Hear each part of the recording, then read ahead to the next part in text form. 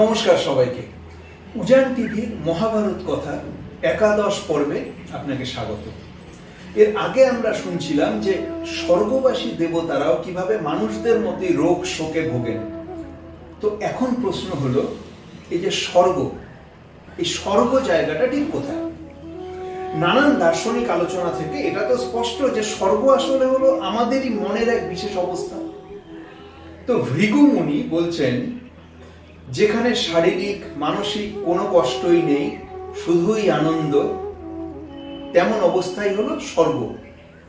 সেই দশাকেই বলে স্বর্গ সুখ তো এই স্বর্গ সুখ পাবো কোথায়?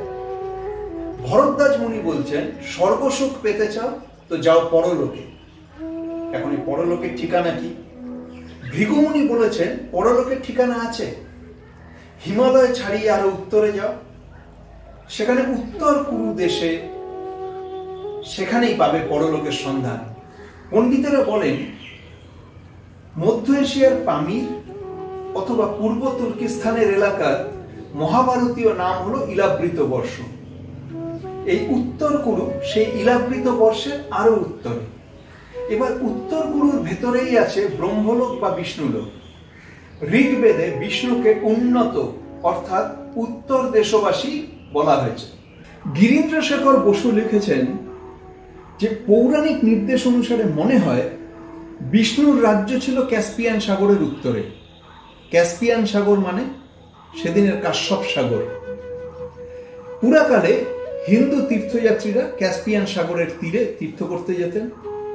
সব মিলিয়ে মনে হয় উত্তর কুরু সাইবেরিয়া বা রাশিয়ার কোনো জায়গা ছিল। উপনিষদে ব্রহ্মলোকে যাওয়ার পথে আর হ্রদ এবং বিজরা নদীর উল্লেখ আছে। আর হ্রদ এবং আরাল সাগর বা আরাল সি এবং বিজরা নদী বা আধুনিক পাচরা নদী একই বলে মনে হয়। তো ব্রহ্মলোক এবং বিষ্ণুলোকের হদিশ পাওয়া গেল। এবার সর্বলোকের ব্যাপারটা দেখা যায় পুরাণ অনুসারে ভরতবংশীয়দের প্রাচীন পূর্বপুরুষের নাম হলো ইলো। তার নামের সঙ্গে জড়িয়ে আছে ইলাবৃত বর্ষের ব্যাপারটা। গিরীন্দ্র শেখরের মতে, এই ইলাবৃত বর্ষই হলো স্বর্গলোক।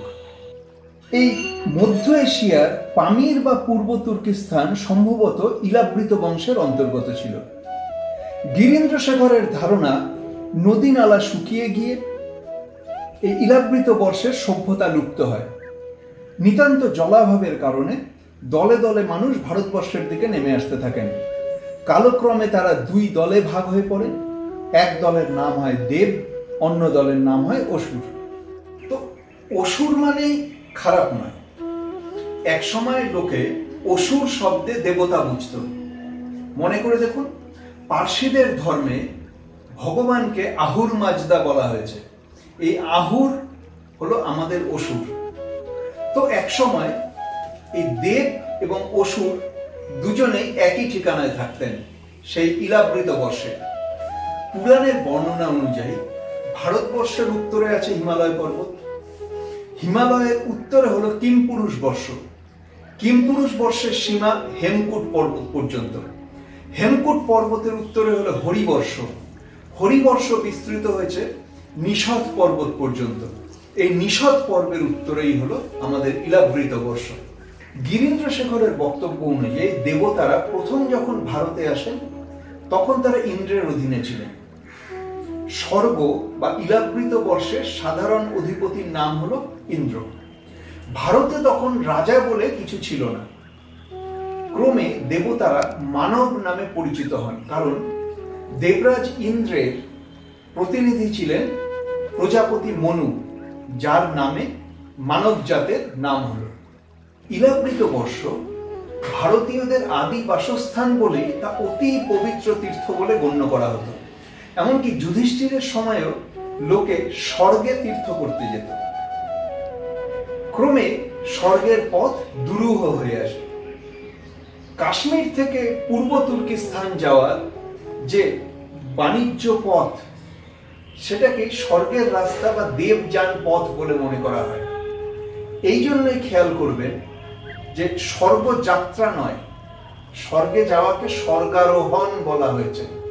অর্থাৎ উত্তরে, আরও উত্তরের পথে পর্বত সংকুল রাস্তা উঠতে উঠতে ওপরে উঠতে হতো বলে তা স্বর্গারোহণ।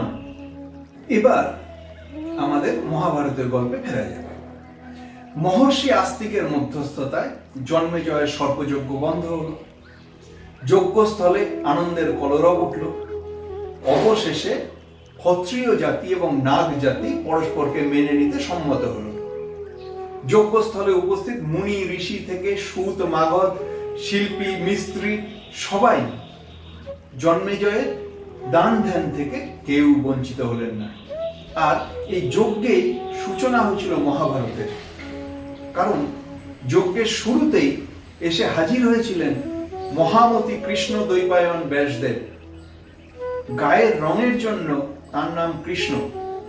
দ্বীপে জন্ম হয়েছিল বলে তার নাম দৈপায়ন এবং বেদকে তিনি ভাগ করেছিলেন বলে তার নাম ব্যাস বা বেদব্যাস সংক্ষেপে শুধুই ব্যাস অথবা ব্যাসদেব জন্মেজয়ের ইচ্ছা ছিল, এই অতি বৃদ্ধ প্রপিতামহের কাছে নিজের বংশের কাহিনী শুনবেন। তো এতদিন যজ্ঞের ব্যস্ততায় সেটা হয়ে ওঠেনি। এবার যজ্ঞ শেষ হওয়ার সঙ্গে সঙ্গে তিনি ব্যাসের জন্য সোনা দিয়ে আসন তৈরি করালেন। আজও ভাগবত পাঠের আসরে কথকের আসনের নাম হলো ব্যাসাসন। ব্যাসাসনে উপবিষ্ট ব্যাসদেবের কাছে হাত জোর করে জন্মেজয় বললেন, পাণ্ডব কৌরবের সমস্ত ঘটনাই সামনে থেকে দেখেছেন আপনি। প্রত্যেকটি চরিত্রের বিস্তৃত বর্ণনা শোনান আমাদের। আর এই যে কুরুক্ষেত্র যুদ্ধ ঘটে গেল, এতগুলো মানুষের প্রাণ গেল, এসবের কারণ জানান। জন্মেজয় না হয়ে অর্জুনের নাতির ছেলে। তিনি তো পাণ্ডবদের কথা, কুরুক্ষেত্র যুদ্ধের কথা শুনতে চাইবেনি। কিন্তু ব্যাসদেব, তিনি তো কৌরব পাণ্ডবদের পিতামহ। এই মহান বংশের হানাহানি মারামারির কথা তিনি নিজের মুখে বলেন কি করে? তাই ব্যাসাসনে বসেও তিনি নিজ মুখে মহাভারতের কথা বলতে পারলেন না। বরং প্রিয় শিষ্য বৈশম্পায়নকে আদেশ করলেন, বিচিত্র মহাভারত কথা জনসমক্ষে তুলে ধরার জন্য। বৈশম্পায়ন একেবারে গোড়ায় শুরু করলেন। পাণ্ডব, কৌরব, ভীষ্ম, শান্তনু যে বংশের গৌরব, সেই চন্দ্র বংশের প্রথম পুরুষ চন্দ্রের কথা দিয়ে শুরু করলেন তিনি। তা বৈশম্পায়ন চন্দ্রের কথা কি বললেন? তা জানতে চোখ রাখুন উজান টিভির মহাভারত কথার পরের এপিসোডে শেয়ার আর লাইক করতে ভুলবেন না, যেন।